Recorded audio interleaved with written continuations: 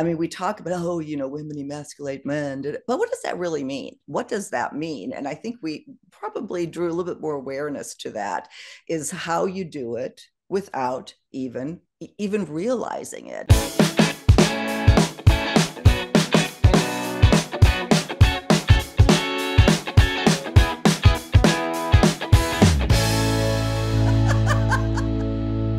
Thank you so much for joining us again on Second Act TV. Once again, I want to welcome back Sandy Weiner, the founder of Last First Date and the author of Choice points in dating. Sandy, once again, thanks so much for being here. I am so excited for today's topic, Silke. Yeah, it, well, it's an important one. And I think our men are going to, hopefully, they'll appreciate it because this is definitely directed at women, something that, uh, well, that we unknowingly do uh, that absolutely hurts our relationship, and that is emasculate men. And you and I talked here at the beginning that um, you know I can relate with with what you wrote here and did so much. So let's talk about that and let's see if we can help some other people identify this this sort of behavior. Do you want to explain what emasculating men exactly is? Yeah, I mean, generally speaking, it's when women do things, and usually it's unknowingly, mm-hmm. that make men feel less like a man. They take over for him. They do things that sort of put him down, disrespect him in some way that is not usually so clear to the woman, but it makes a man feel really bad. And the men may not even realize how to name it either. And it often leads to self sabotaging and sabotaging dates and relationships. And if we can name it and understand it, we can create healthier relationships. Yeah, exactly. And, you know, like you said, and, and, many times it's unknowingly. I mean, obviously, if you're, you know, in the throes of anger and you say stuff to put put each other down, that that's more obvious. But simple things, simple things like you had a great example, the driving example. Uh, uh, tell us about that, that one. and then we'll go through some more specifics. Uh, a lot of women don't like that men don't stop for directions. I would say that that's a big one. And then women yeah. will school the man. Oh, no, you should have turned left. You should go the way I think you should go.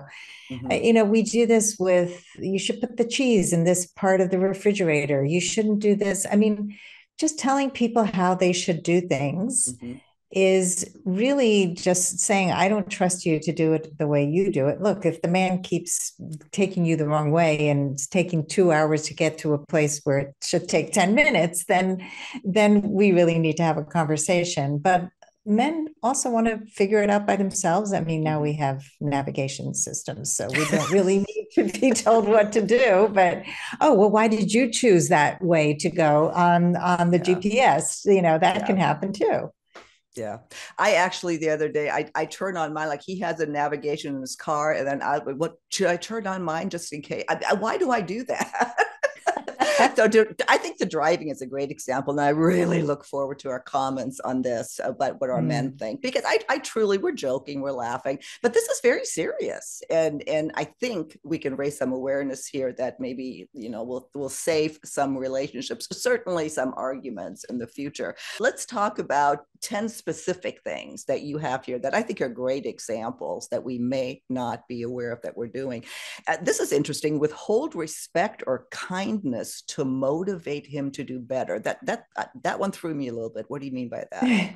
yeah, so I think a lot of us grew up in homes where we think, oh, if we're if we're not respectful or kind, we're going to be motivated to be better children, right? How many of our parents withheld kindness to motivate us? You know, for being for mean, we're going to res- make him want to do better and that doesn't work you know respect is so motivating but mm-hmm. for some reason, people think that being mean or icing somebody out or doing something like that can motivate him to be a better person.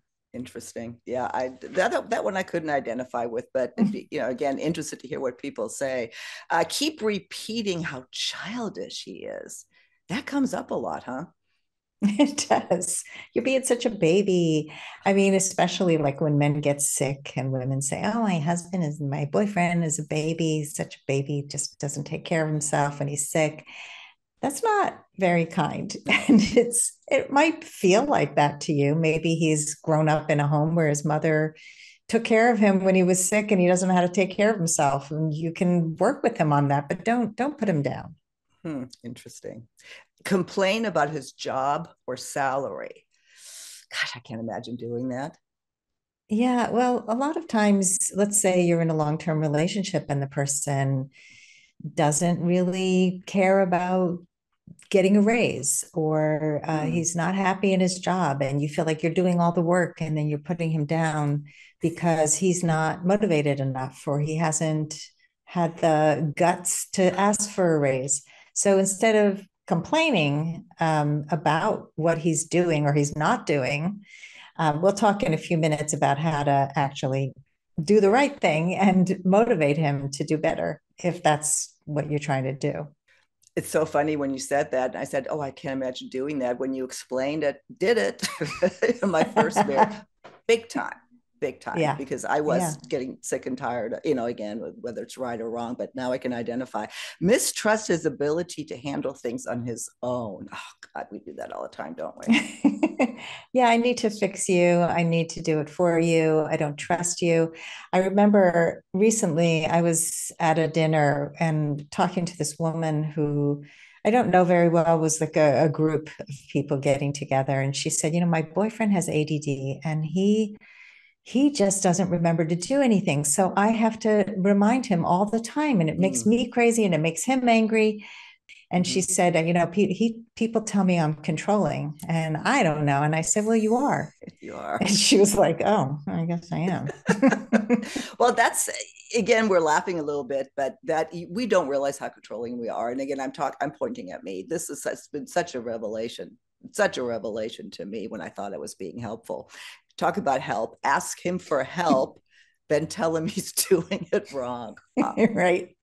I remember when I was raising children and I would ask my husband to take the kids out and give me a break. And he would take the kids out, he would pack the bag, and he would forget stuff. He didn't pack it the way I would pack it. So I would get upset. Then I realized hey, wait a minute, he's taking the kids out. nobody's going to die. Just, he is taking the kids out. Like, do not school your man on what he's doing wrong, especially if you've asked for help. Let him do it his way and appreciate him for it. Yeah, just just bite bite bite down on a piece of you know rubber or something. right.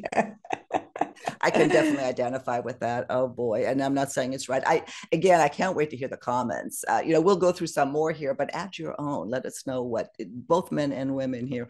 Uh, well, nag him or boss him around. Uh, and I'm going to combine two here nag him and boss him around. Treat him like he's a Neanderthal with no feelings. That kind of goes hand in hand.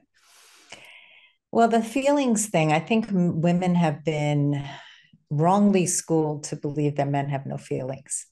Men have feelings. Men are people too. And I think when you think that, oh, he's just like, a, I mean, I've heard women talk about their their significant others like, like, like, like he's some kind of caveman.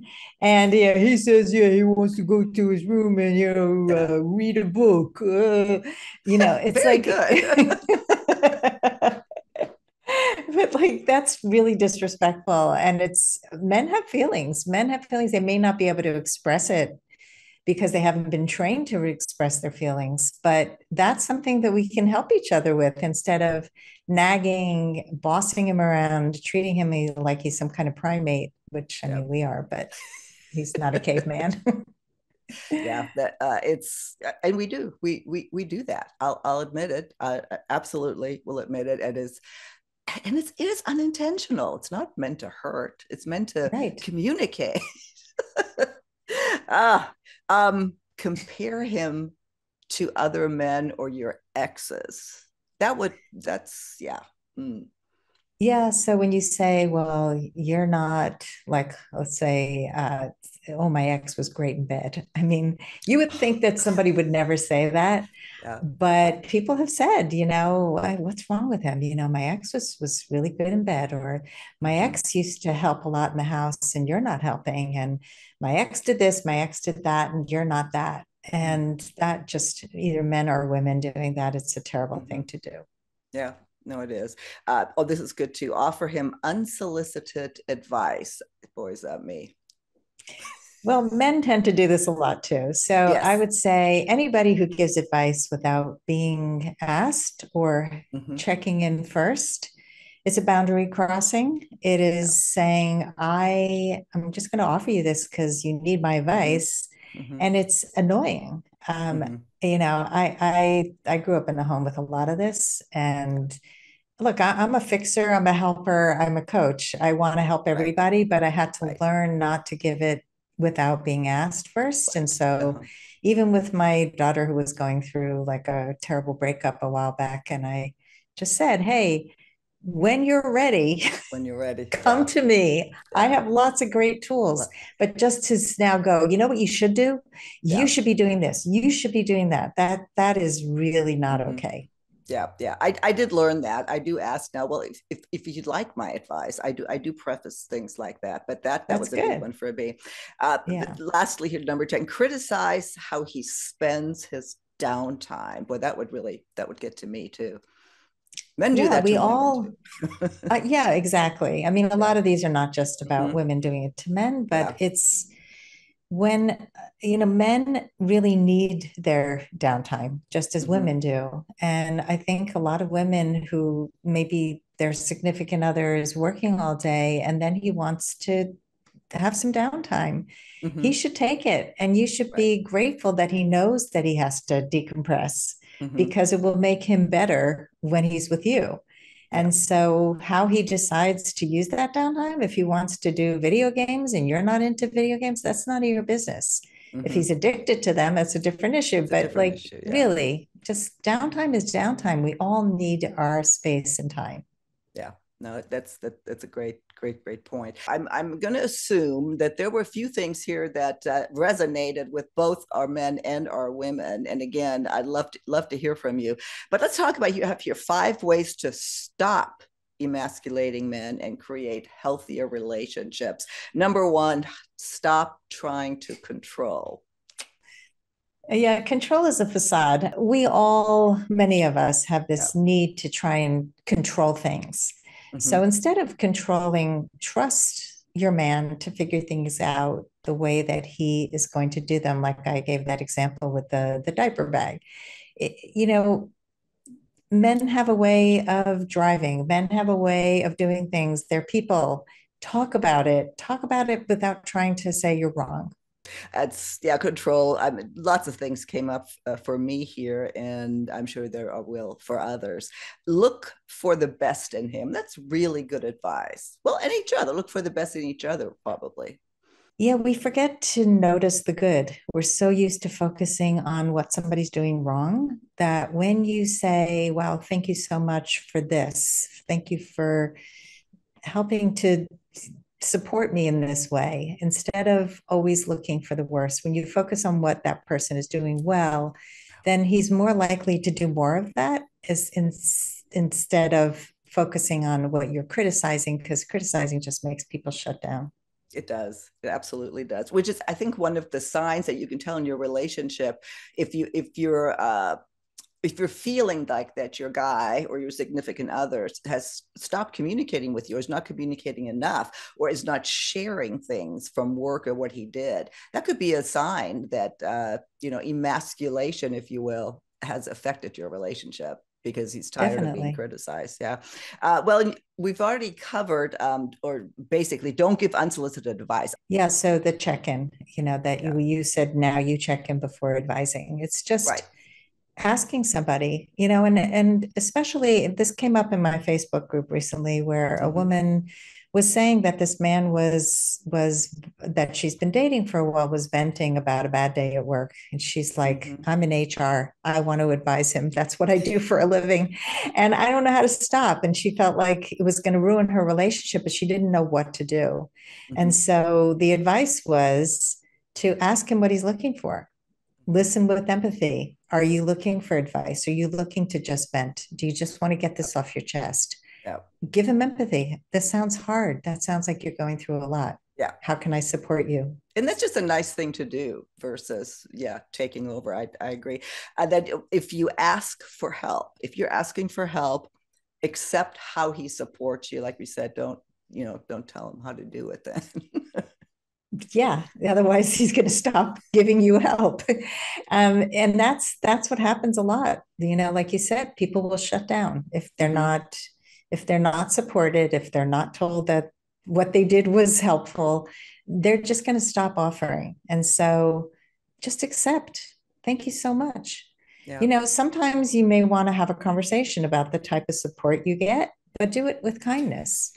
This comes up so often in comments or in other videos too that it does surprise me. I, I think maybe it is more of a female trait than a male that uh, you know falls into the bitching category uh, mm. and it's it's really something to be aware of definitely something mm-hmm. to be mm-hmm. aware of and again i'm, I'm pointing fingers right here as, as well and then be direct instead of nagging tell him what you want and need and then give him the space to provide very few people are direct.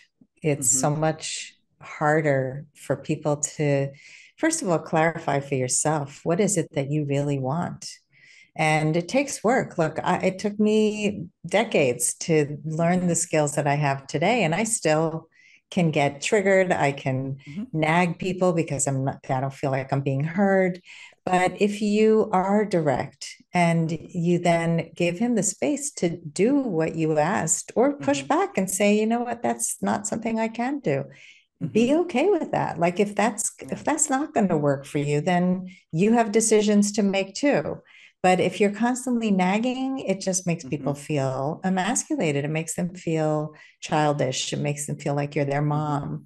I know people who also get into relationships later in life and they feel like the person that they're married to is relying on them too much because they were used to that in their past mm-hmm. relationships. Well, if you mm-hmm. don't want that, then don't nag. Um, mm-hmm. Don't don't do everything that person wants, but tell them how you picture this relationship and how you could get there together. Well, I think the we're starting to come to the end of the segment here. I think the biggest message for me is just the awareness of this.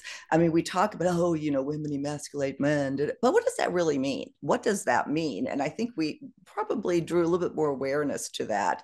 Is how you do it without even even realizing it. I mean, just a couple of these were, you know, I needed to hear that again because I certainly, you know, didn't do it maliciously. Uh, Sandy, what what would you add on the segment? Is there anything I didn't ask? I mean, I think we covered most of it, but I, I want to say that if you grew up in a home where there was emasculation, and many of us have, where our parents, our mother didn't know how to express her needs or tried to express them and they weren't met. And so she started to put down your father, or maybe she just did it in front of you and not directly to him. Mm-hmm. It's we we get it from somewhere, right? And we mm-hmm. hear it from other people. So just kind of connect the dots, be aware, like you said, the awareness is always the first step in any kind of self-growth. And, and if you slip up, because when you're starting to change behavior, you will slip up. That's absolutely okay mm-hmm. and give yourself some grace and just say whoops i'm so sorry i nagged you again or i criticized you i didn't mean to. Let me let me have a do-over. I like that I like that a lot. Sandy, thank you. Always appreciate your time. We'll link to all of your information to your website to make sure people can get a hold of you directly. And of course, your book, Choice Points in Dating. Great read. So thank you again, and we'll see you again soon on Second Act TV.